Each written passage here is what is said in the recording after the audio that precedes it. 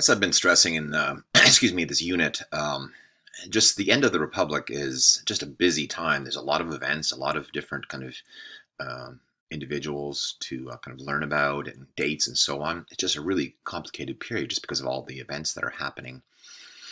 So I have uh, tried to streamline things um, and made them as clear as possible. Um, I hope as um, you've picked up on um, in the material for the unit. But what I wanted to do here is just do a little slideshow that kind of fleshes out uh, the details on three of the most important individuals at this particular point in the unit.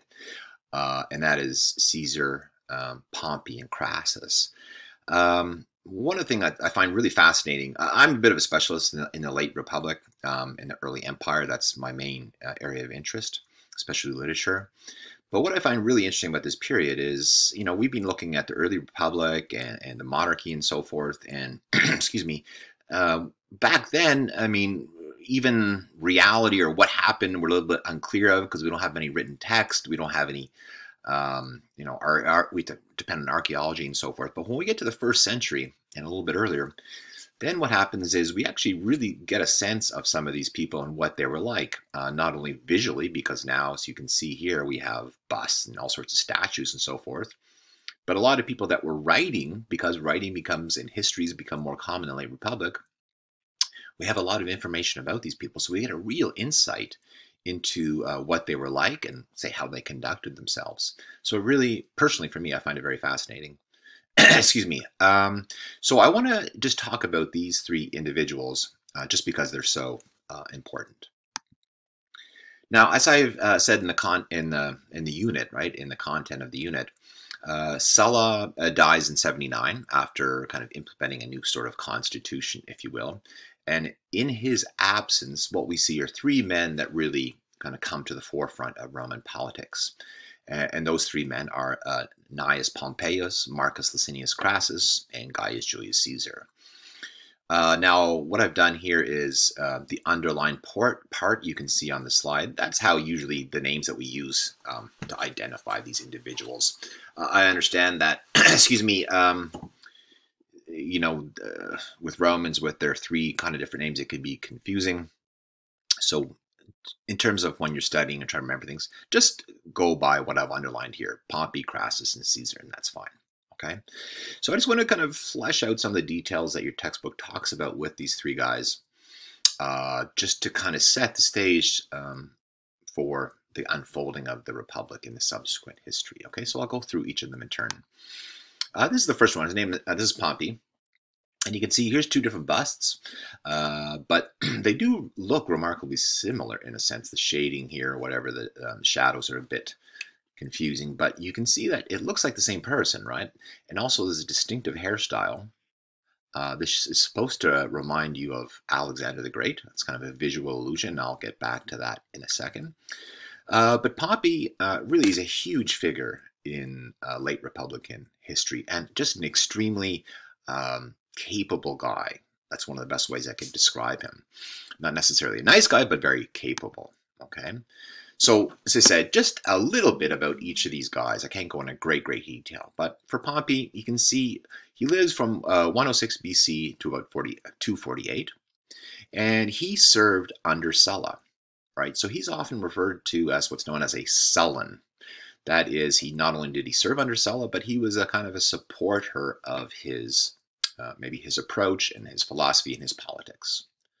Now, what happened is, excuse me, remember when Sulla returns to Rome after uh, war in the East and he has to kind of reestablish his power. And it's a bloody time in Rome because a lot of people are proscribed. So opposition to Sulla has to be kind of um, gotten rid of right? And here, Pompey really starts to, uh, just by his talents, he's really good at uh, kind of rounding up and eliminating the opposition to Sulla so that Sulla can uh, kind of impose his constitution. And this is where he earns the nickname Magnus, which is just the Latin word for great. So he's Pompeius Magnus, uh, Pompey the Great. Now, the idea here is that, of course, this is a reference to Alexander the Great. Uh, and the idea, remember, with Alexander is that he achieved so much at such a young age. Oh, this is the kind of reason that Pompey was given this name because he accomplished all these things at such a young age.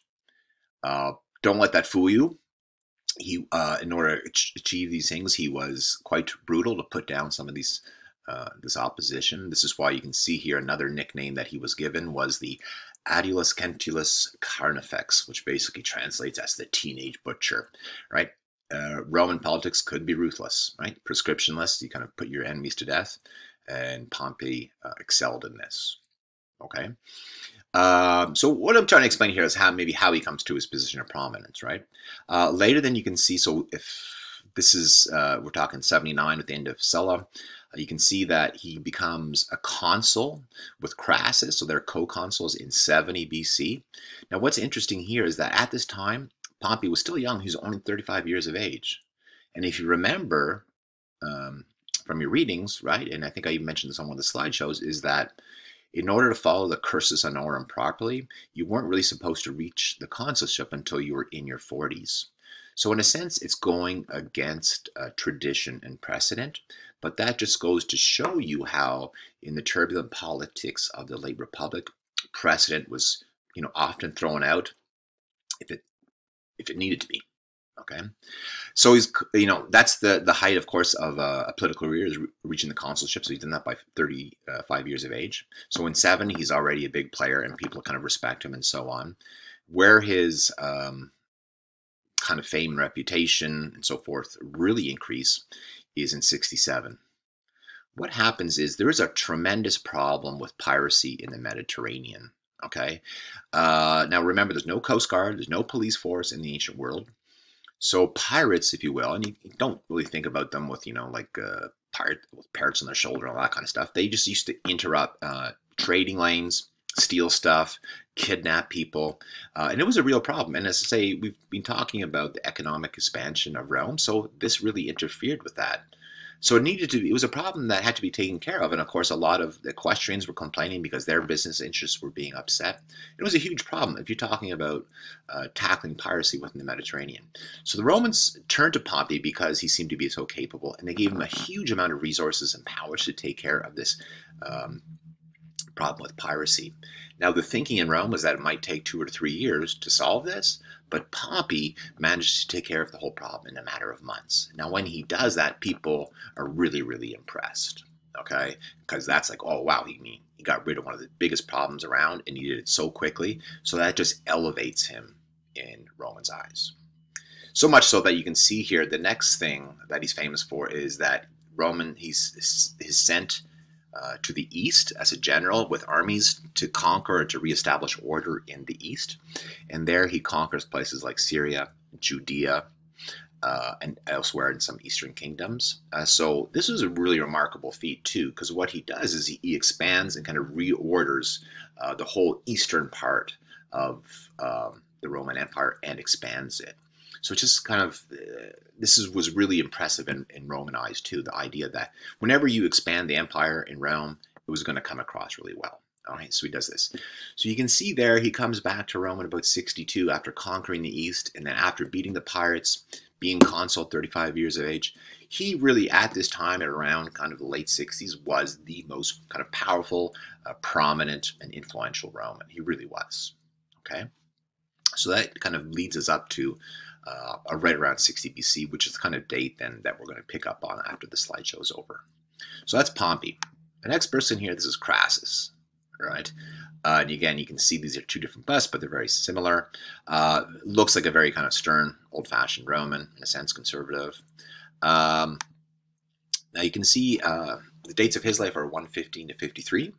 Uh, he too is a Sullan. That means he served under Sulla. He doesn't have quite the um, military uh, experience of someone like Pompey, Crassus was always desperate to prove himself militarily speaking, uh, but never quite managed to do so. Crassus is really most famous in Rome, or most important because of his enormous wealth. Okay, he was just really the richest man in Rome. And in Rome, uh, money went a long way because me, people needed money to run campaigns, they needed for a living or whatever. So he, you know, lent out a lot of money uh, and therefore people owed him a lot of favors. So he had a lot of influence that way. Now, a lot of that wealth came after uh, Sulla returned to Rome and proscribed people. So a lot of that, his wealth was kind of ill-gotten, if you will. But as I said, he had that money and he could distribute it as he wished. So that was a powerful thing. People would turn to him. Uh, other things, though, that make his name in Rome. Um, I haven't talked about the revolt of Spartacus, but I'm sure you've heard of Spartacus, right? He's a gladiator who leads who leads a slave revolt. Now we've talked about the tens of thousands of slaves in Italy. They were a problem, right? Uh, because if they revolted, kind of rebelled against their owners, they could be a real problem just because of the sheer number of them. And Spartacus and gladiators who were slaves, and I'm going to talk about gladiator uh, in if not the next unit, the unit after that.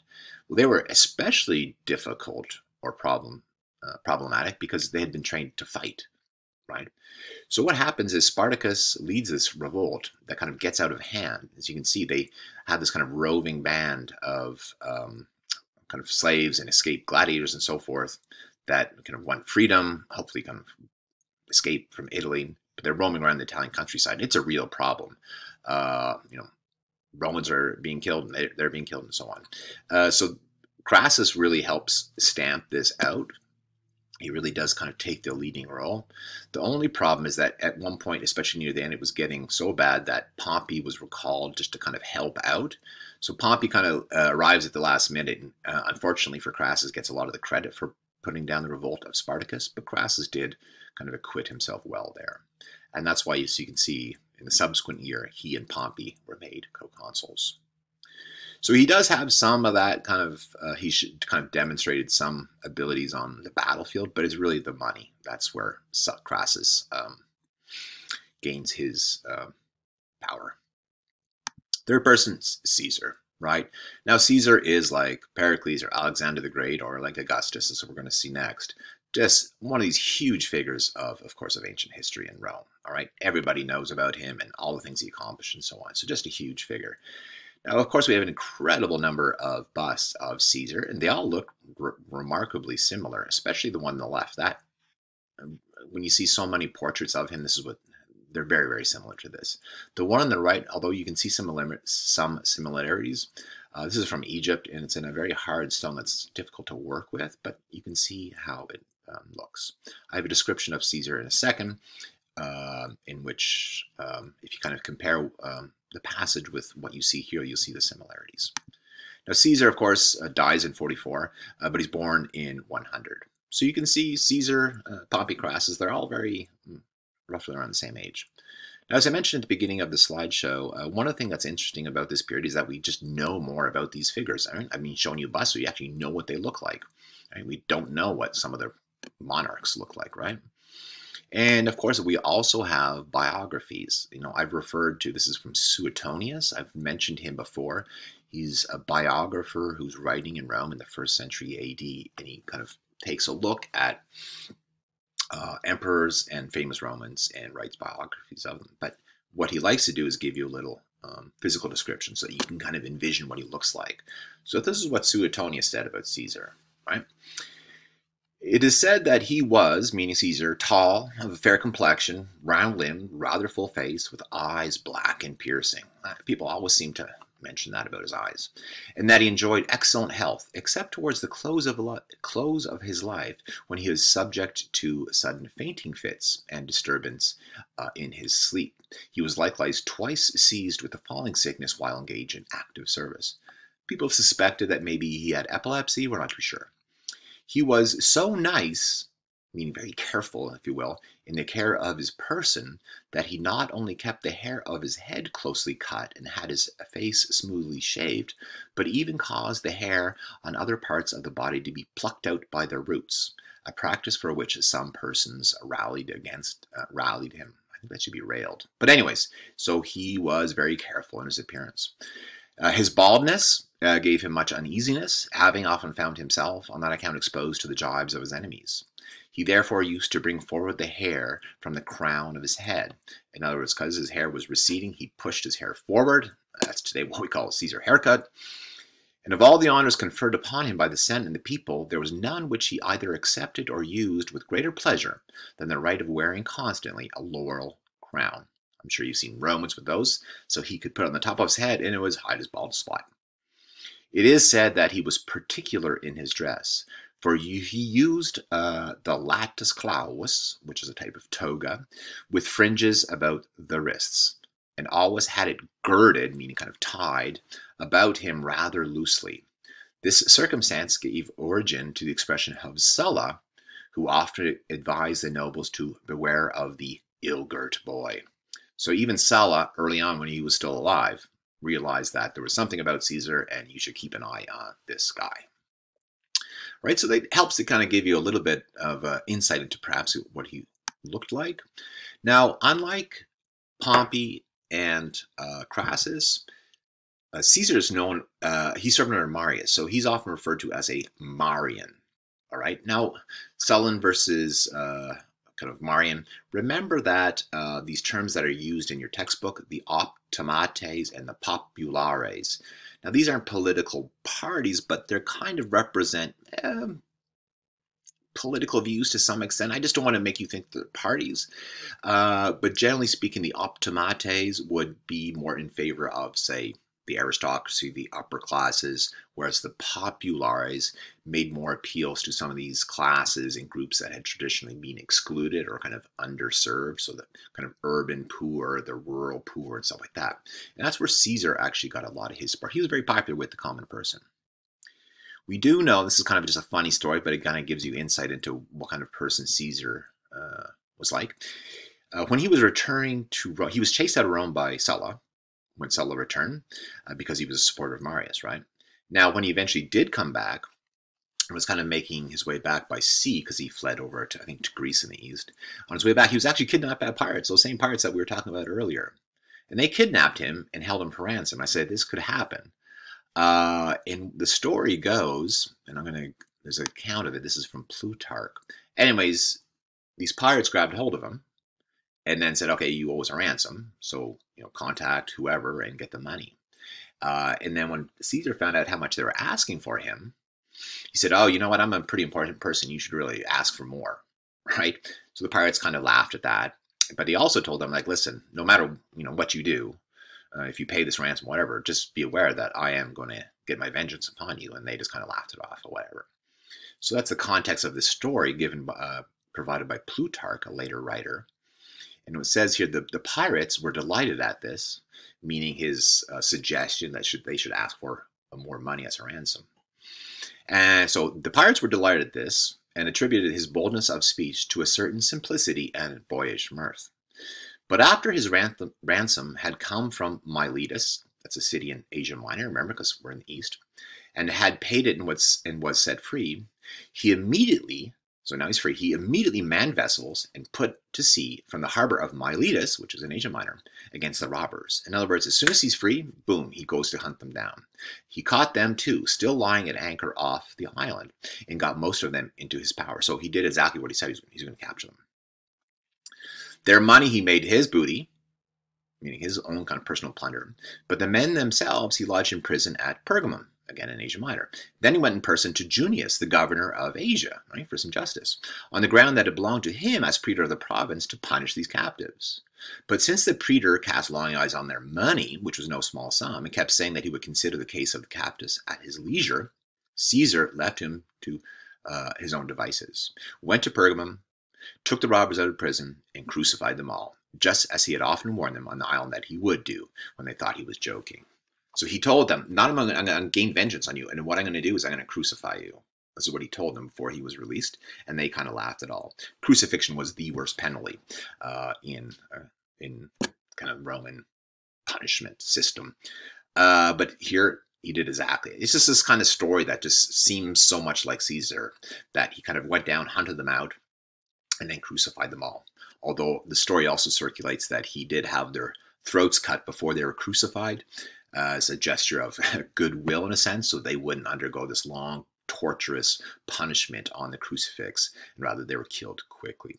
Caesar was very famous. I mean, this sounds bad, bad to say, but Caesar is very, very famous for his uh, leniency and his clemency for forgiving people. We'll see that in the Civil War. Uh, pirates are different, right? Because they're not Romans, but he cut them a bit of a break. But I always find that story about Caesar fascinating. Um, now, when he does return to, uh, to Rome, you can see that he does work as you know has a typical career. From a prominent family, has a typical career, works his way up the cursus honorum, right, serving as quaestor and aedile, and then he becomes. You can see um, he does reach the consulship, of course, we know that. Uh, but in 63, he's named uh, Pontifex Maximus, which is like the chief priest in Rome. So that too, that's a you know at 63, if you're Pontifex uh, Maximus, he's one of the leading Romans at that time. He did serve in Spain and elsewhere, so lots of military experience. Uh, and really, as a military leader, uh, he really is kind of unmatched um, in Rome at this time. I mean, he does win the civil wars, as we'll see, uh, and he conquers all of Gaul.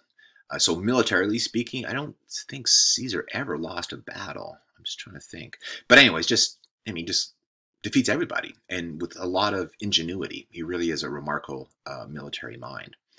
But I don't want to think of you to think of Caesar just as a military commander or a politician. Like so many of Romans, these upper class Romans, they had a lot of kind of interest. And the idea of being a good Roman or a kind of a good man, if you will, um, involved many things. It meant political service, it meant military service, but also kind of um, intellectual pursuits. And I think for a lot of people that, you know, they think of Julius Caesar being kind of killed and they have really not a huge idea of kind of who he was, they're maybe sometimes um, surprised to learn of how much writing he did, and it's still available. His two main works are the Gallic Wars, right, which detail his conquest of Gaul. So, killing all sorts of Gauls, all sorts of his expedition to Britain, all sorts of things.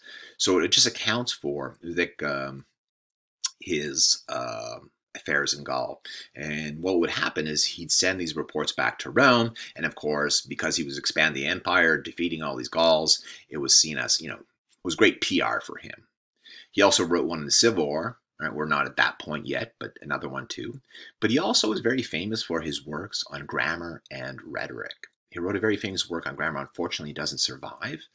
Um, but he was very um, devoted to, I say, or very much a student of rhetoric and grammar and the use of language. And he does have a very distinctive style. So when you read the Gallic Wars and the Civil War, especially in Latin, they're just, they have a very, very, I love the style. It's called the plain style or the Attic style. Uh, it's very, very good. And I just, it appeals to me a lot. But I think, and I'm not just putting this in here as a kind of personal plug, but even famous Roman orators like Cicero and others, when they look to the prose of that's a writing of Caesar, they too recognize just how good it was. So very, very accomplished guy in that, you know, very uh, kind of well-rounded in a sense, um, although he was a bit of a tyrant, of course. Uh, but the reason I include this is to say just to flesh out this whole idea of Caesar. Now, hopefully, um, this was meant just to introduce you to these three characters, these three individuals. So hope that kind of, I mean, helps out with the complexity of this whole period of history and kind of explain things a little more. Now, what happens as when you pick up in the in the content um, in the unit online, uh, this is where we're going to pick up just around uh, the year 60. Okay, so hopefully this has been of some use for you.